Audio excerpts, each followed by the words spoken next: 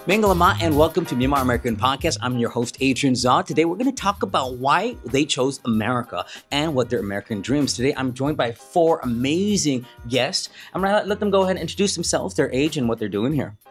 um ကျွန်တော်နာမည် Tony Ra ပါအင်္ဂလိပ်နာမည် Zoro ပါ22 years old ရှိပါခင်ဗျ Uh, my name is Hillary. TV လို့လေးခေါ်လို့ရပါတယ် and I'm 19 years old. Hello မင်္ဂလာပါညီမနာမည်ကဆော်ယူပါညီမအခု21ပါ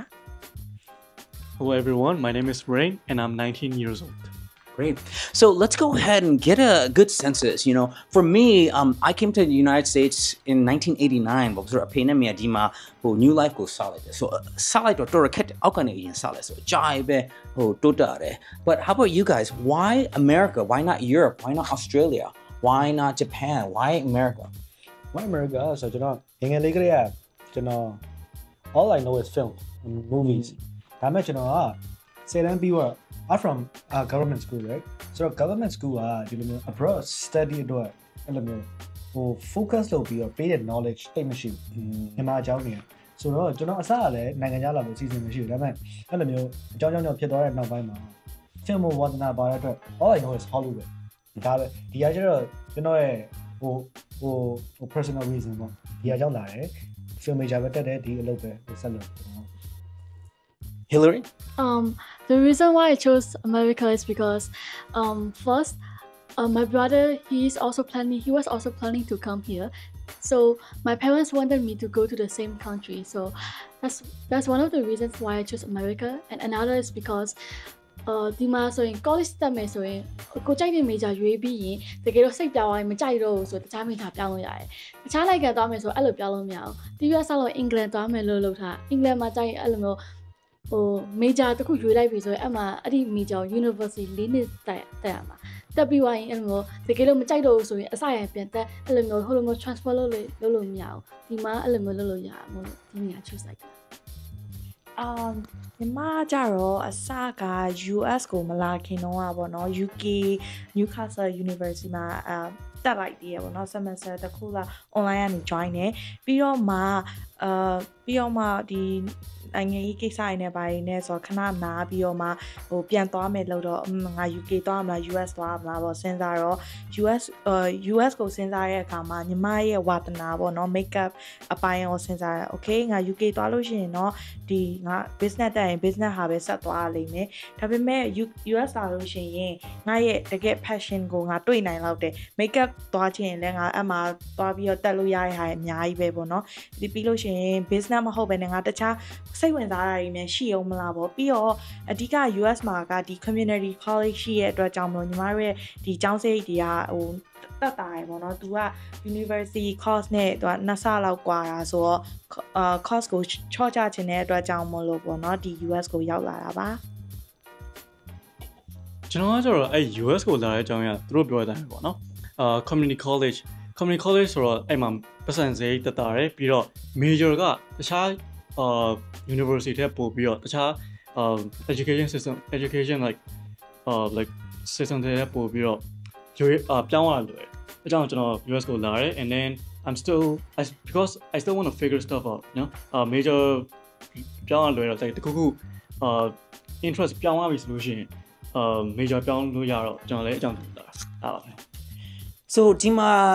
လူတွေကိုဟိုဘာလေးလာဖို့လို့လဲဆိုတော့အကြောင်းကကျတော့ essential မဟုတ်ဘူးဒီမှာအောင်မြင်ခြင်းဒါပေမဲ့ international ဆိုဒီမှာ visa ပို့တအားလို့တယ်ဒါပေမဲ့ဒီမှာကျတော့ကျောင်းကိုအောင်မြင်ဖို့ဟိုဒီဘွားလုံးအောင်မြင်တာလည်းမဟုတ်ဘူးဒီမှာကျတော့လူတွေနဲ့ network လို့ပြီးတော့ဟို missy ပွင့်သွားတယ်ဟို opportunity အများကြီးပဲရှိတယ်ဆိုတော့ဆိုတော့ American dreams ဆိုတာဟိုနည်းနည်းပို clearly တွေ့နိုင်တယ်ဘာလို့ချင်လဲဘာလဲဥစ္စာအကုန်လုံးစမ်းလို့ရတယ်ဒါပေမဲ့ဘယ်သူမှလည်းဟိုဟိုဟို stop မလုပ်ဘူးလေ so အကိုတို့ကဒီမှာနေတာနည်းနည်းကြာပြီဆိုတော့ဘာလေးလာလဲနောက်ပြီး American dream မှာဘာဘာဟို what do you want to take away from your experience here what do you hope to gain what do you hope to achieve and what kind of dream do you aspire to ဟိုအခုရှိတော့လေဟိုအမ်ခုနအကိုပြောရတယ်လို့ပဲဒီမှာအောင်မြင်ခြင်းလို့ရှိရင် education တစ်ခုတည်းတော့မဟုတ်ဒါပေမဲ့လူမျိုးမျိုးရှိရပါတော့တကယ်လို့မှ biomedical engineering ဟိုဝါသနာပါလူကြတယ်ဒါဆိုရင်တော့ဟို education လို့ဟို yeah ဟိုဘွဲတွေပါလို့ yeah ကျွန်တော်ကကျွန်တော်ကကျတော့ငယ်ငယ်လေးကတည်းကကျွန်တော်က academic နဲ့ပတ်သက်လို့ရှိရင်အရင်ထူးချွန်ခဲ့တဲ့လူမဟုတ်ကျွန်တော်အဓိကလာယူကြခုနကို Adrian ပြောသလိုပဲ experience နဲ့အဲ့လိုမျိုး networking လက်စီပွင့်သွားကျွန်တော်ဒီလိုလာဒီလိုလာစရောက်တဲ့နေရာစပြီးအခုချိန်นี้ကိုယ့်ဘက်ကိုနေတိုင်း push လုပ်နေရကျွန်တော်ခုနပြောသလိုပဲဒီမှာအဲ့လိုမျိုးအရာရာဈေးကြီးတယ်အရာရာဘယ်လိုပြောဒီ လုံတိုင်းလုံတိုင်းသုံးတိုင်းရဲ့တန်ဖိုးတစ်ခုချင်းဆိုတိလာချင်းကိုယ်လည်းတကယ်ရှာနေရတဲ့အချိန်ပြီးလူရဲ့အများကြီးနဲ့လူကြီးတယောက်လည်းတကယ်နေနေရပြီဆိုတဲ့အချိန်မှာကျတော့ဘယ်လိုပြောကိုယ့်ကိုယ်လည်းအားရမှုတစ်ခုရှိရပြီဒီက lifestyle တစ်ခုလုံးရဲ့ဒီလိုကြီး change သွားတယ်အဲ့ဒါအဲ့ဒါကိုကျွန်တော်ကြိုက်တယ်အဲ့ဒါ challenging ဖြစ်တယ်ပျော်ဖို့ကောင်းတယ် exciting ဖြစ်တယ်ကျွန်တော်အဲ့ lifestyle ကြိုက်တယ်ဒီကလူတွေနဲ့စကားပြောလို့ကောင်းအရန်စကားပြောလို့ကောင်းဆိုတော့ဒီဟာတွေအကုန်လုံးကကြတော့ဒါကျွန်တော်အခုကြုံတွေ့နေရတာကျင်းတတ်နေရတာဟုတ် အဲ့ကျွန်တော်ဒီလိုနေထိုင် Hillary ရောဘယ်လိုမျိုး American Dream တွေ idea တွေ့လာလဲဒီမှာနေတော့ Yeah, like ဒီမှာကျတော့ I realized that ဒီမှာ one of the most important things living here is you need to know how to like um network ဘယ်လို network လုပ်အောင်လဲဆိုတာတည်တင်နေလို့ထင်တယ် because so that you can အဲ့လိုမျိုးကလူတွေနဲ့ connect ဖြစ်သွားပြီဆိုရင်ဟိုကိုနဲ့ကိုတော့ဘယ်သူကဟို benefit ဖြစ်မယ် like for example အလုပ် for example I am interior design ဆိုတော့ interior design major အတွက်ဘယ်သူကအဲ့လိုမျိုးကိုတော့အဲ့လို internship ပေးနိုင်မလဲဘယ်သူကကိုအဲ့လို better opportunities ပေးနိုင်မလဲအဲ့လိုမျိုး network တွေ network တွေဟိုရှာပြီး connect လုပ်ဖို့တော့အရေးကြီးတယ် အမ်ညီမအထင်ရလဲဒီ Hillary တို့ပြောသွားရဲ့အတိုင်းပဲပေါ့နော်။သူအဓိကဒီမှာကအရာရာကိုယ့်လက်ကိုယ်ချီနဲ့လောက်ရတယ်ပေါ့နော်။မြန်မာနိုင်ငံကဆိုလို့ရှရင်လုံးဝ daddy daddy girl လေး mommy girl လေးတွေပေါ့နော်မမလောက်စရာမလိုအဲ့လိုမျိုးဟိုအိမ်မှာနေလိုက်ပြီးလို့ရှရင်တင်တန်းလေးသွားလိုက်အဲ့လိုမျိုးပဲပေါ့နော်။ဒါပေမဲ့ဒီရောက်တဲ့အခါမှာအာအရာရာလူကြီးတယောက်လို့ပေါ့နော်အဲ့အကြောင်းအိမ်နဲ့ဖုန်းပြောလို့ရှရင်လည်းပြောဖြစ်တယ်လုံးဝอืม ဟို mature ဖြစ်ရတိတ်တော့မကောင်းဒါပေမဲ့လည်းဟိုတစ်ဖက်မှာကျတော့လည်းကျင်းနေရတယ်ဘာလို့ဆိုအခုဒီမှာဆို part time နေလုပ်တယ်ကိုယ့်ကိုပတ်စံရှာရဲပေါ့နော်ပြီးလို့ရှိရင်အလိုရာရှိရင်ကိုယ့်ပတ်စံနဲ့ကိုဝယ်တယ်ပြီးလို့ရှိရင်ဒီမှာလူတွေအများကြီးနဲ့တွေ့ရတယ်ပေါ့နော်နိုင်ငံမျိုးစုံကလူတွေအဓိကတော့ဒီရဲ့ American လူတွေနဲ့ပေါ့နော် connection လုပ်တယ် networking လုပ်တယ်ဆိုလို့ရှိရင်ကိုဒီလူတယောက်နဲ့တည်ရင်တိတ်အဲဘယ်လိုပြောမလဲ ဟို knowledge ပိုတည်ရယ်နှစ်ယောက်နဲ့တည်ရယ်နှစ်ဆပိုတည်ရယ်သုံးယောက်နဲ့တည်ရင်သုံးဆပိုတည်ရယ်ပေါ့နော်အဲ့လိုမျိုး networking ကဒီမှာအရေးကြီးရယ်ပြီးလို့ရှိရင်အာဒီမှာမြန်မာနိုင်ငံလိုစတော်ရုံနဲ့လည်းမပြီးဘူးအဲ့လိုမျိုးအဓိက social networking ကအရေးကြီးရယ်လူတွေနဲ့များများပြောများများဆက်ဆံပေါ့နော်အဲ့တော့အဲ့အဲ့လိုဆိုလို့ရှိရင်ကိုယ့်အတွက်ပိုပြီးအကျိုးမြတ်များရယ်ပေါ့နော်အဲ့အဲ့အားကြောင့်လို့ပါကျွန်တော်ကျွန်တော်ရဲ့ American dream ကဘာလဲဆိုတော့ဒီမှာ you are not judged for who you are အဲ့ဒါ big thing ပေါ့နော်မြန်မာနိုင်ငံမှာဆိုရင် it's a different philosophy ဒီမှာကျတော့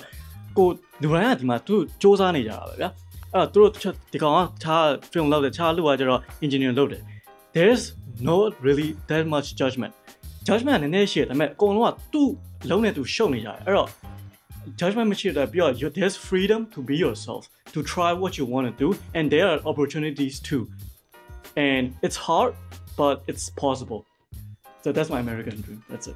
Yeah, it's it's really important. And now what they touch based on is there's this great quote. You are the sum of the five friends that you hang out with the most. So if you have four alcoholics, you're gonna be the fifth. If you have four millionaires, you're likely going to be the fit. So you are who you hang out with. So oh, like it's really important who you hang out with, who you make your friends. Like for me, I mean, I was a poor Burmese kid. I didn't have anybody. So you know, for me to go from nothing all the way to even meeting the president of the United States, to meeting billionaires, to meeting millionaires, so important. So I'm gonna wrap it up with this thought and I'm gonna let you guys talk. Is there any last words that you guys wanna give encouragement to for people who are watching, who are curious about the American dream? Anything you guys wanna say? oh anything uh don't believe like what they say about us in in myanmar from the people that haven't lived in the united states just try to listen from the people that have lived so many years in the united states and just believe in yourself you know that's it စူးစမ်းရမယ် and ဟိုဟိုမဟိုထင်းတဲ့ဥစ္စာတွေဟိုနားမထောင်နဲ့ဒီက Yeah. လှုပ်ဖူးတဲ့လူတွေရဲ့ဥစ္စာအပဲအရင်ဦးစားပေးလိုက်ပေါ့ yes right? yes exactly အမတော့ Uh, TV လေတူတူတူရင်ပြောတဲ့အတိုင်း rain ပြောတဲ့အတိုင်းပဲ I agree with him and just like just remember to to be disciplined and to do whatever that you gotta do ဟို ကျွန်တော်တို့ဒီ America လာမှာမဟုတ်ကျွန်တော်လည်းမြန်မာနိုင်ငံမှာဟိုနေခဲ့တဲ့လူဆိုတော့ conference zone ထဲမှာအနေပဲနဲ့တကယ်အပြင်ကိုလာပြီးတော့တကယ်စူးစမ်းပြီးနေထိုင်ရတာကျွန်တော်တော့အာလာပြောတယ်အကုန်လုံးကိုလည်းအဲ့လို feeling ကိုဟိုရစေချင်တယ်ကျွန်တော်တော့ဟိုဆရာလောက်တာလည်းဘာပဲဘာမှမဟုတ်ဒီကကျွန်တော်ရဲ့ feeling လေးပဲအာ share လုပ်ပေး don't stay in your uh, comfort zone there's exciting life ahead of you and, and that's really cool Yeah, they're a cat. ဒါပေမဲ့ဟိုစူးစမ်းရင်အောင်မြင်နိုင်တယ်ဒီမှာ ဘယ်လောက်စူးစမ်းမှာပဲအောင်မြင်နိုင်တယ် so lazy ဖြစ်လို့မရအောင်တအားစူးစမ်းမယ် Anyways guys thank you so much um I'm Adrian Zong with Zorro Hillary Saw you and Rain, and we'll see you guys next time on the Myanmar American podcast where we get to talk about things you never get to hear online. See ya.